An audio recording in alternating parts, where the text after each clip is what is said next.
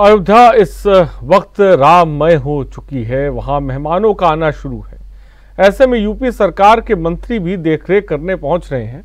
UP के मंत्री सूर्य प्रताप शाही ने बताया कि प्राण प्रतिष्ठा की तैयारियाँ पूरी हो चुकी हैं, कुछ कमियाँ शेष रह गई हैं, जिन्हें जल्द ही पूरा कर लिया जाएगा। इन्हीं कुछ मुद्दों पर हमारे UP state head Vijay Tripathi ने उनसे खास बात की। जरा देखिए। यूपी के कृषि मंत्री सूर्य प्रताप शाही हमारे साथ मौजूद है। अयोध्या में आज वो भी आए हैं मौके पर मौजूद हैं। तो क्या लगता है कि अयोध्या पूरी तरीके से तैयार हो गई है? व्यवस्थाएँ हाँ, सारी व्यवस्थाएँ हम लोगों की पूरी हो गई हैं और जो थोड़ी बहुत बची हैं उन सबको पूरा किया जा रहा है। अयोध्या आँख बसारे जो है वो 22 तारीख के प्राण प्रतिष्ठा का कार्यक्रम और आदरणीय प्रधानमंत्री जी की बात हो रहा है कि भगवान श्री राम लला कब अपने जन्म स्थान पर पधारेंगे और शताब्दियों का जो सपना था संकल्प था वो आज पूरा होने जा रहा है। इसलिए सारे अयोध्यावासी देशवासी उत्तर प्रदेशवासी सभी बहुत ही प्रसन्न है और उत्साह और उमंग के साथ हैं। सर निरीक्षण किया आपने कई जगह पर गए आप अभी देखा भी आपने। क्या क्या तैयारियाँ हैं? देखिए लगातार सफ़ाई की व्यवस्था की कराई जा रही है। लगभग पाँच हज़ार यहाँ पर जो है वो हमारे सफ़ाई सेवक यहाँ पर काम कर रहे हैं।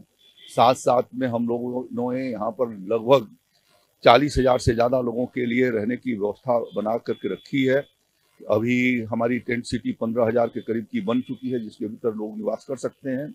और बीस हज़ार की टेंट सिटी तैयार हो रही है, जो पच्चीस तारीख को हमें उपलब्ध हो जाएगी, जिसके माध्यम से जितने भी श्रद्धालु देश के कोने कोने से आएँगे, उनकी व्यवस्था हो सकेगी। फिर क्षेत्र में भी अपने क्षेत्र के भीतर दस हज़ार से ज़्यादा लोगों के रहने की, ठहरने की व्यवस्था बना रखी है। बीस से ज़्यादा हमारे चिकित्सालय की व्यवस्था हम लोग कर रहे हैं, जहाँ पर लोगों को फ़र्स्ट एड दिया जा सके। यहाँ श्री राम चिकित्सालय और मेडिकल कॉलेज को भी बेहतर फैसिलिटी दे करके हर प्रकार से लोगों की इलाज की व्यवस्था हो जाए, इसकी हम लोगों ने व्यवस्था किया है। वहाँ पर एक अलग से ट्रामा सेंटर भी बना दिया है। तो कोशिश कर रहे हैं कि पूरे शहर की सजावट की व्यवस्था यहाँ के नगरवासियों के सहयोग से और बाकी लोगों के सहयोग से यहाँ पर कराई जा रही है। तो निरंतर हम लोग उस काम में लगे हुए हैं। विपक्ष लगातार आरोप लगा रहा है कि सरकार केवल प्रोपोगंडा कर रही है और कुछ नहीं राम का मंदिर पूरी विस्तार से बनना है। हम बाईस के बाद दर्शन करेंगे। तो क्या लगता है पहले नहीं दर्शन कर सकते? ये जो दर्शन नहीं कर सकते वो कभी मंदिर भी नहीं बना सकते थे।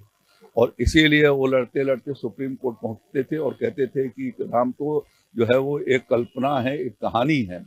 आज जब वो धरती पर भगवान श्री राम उतर रहे हैं तो उनको बेचैनी हो रही है और वो परेशान है कि जब हमको मौका मिला हम नहीं कर सके अब छटपटाहट के भीतर है वो। छटपटाहट ही है सिर्फ़ विपक्ष के पास हाँ। बिल्कुल छटपटाहट है। उन्हीं लोगों ने यहाँ पर उन्नीस सौ नवासी में तीस नवंबर दो तीस अक्टूबर दो नवंबर उन्नीस नवासी को उन लोगों ने जो रक्त रंजित किया था इस अयोध्या को और सारी सरजू नदी का पानी लाल हो गई थी और धरती लाल कर दिया था।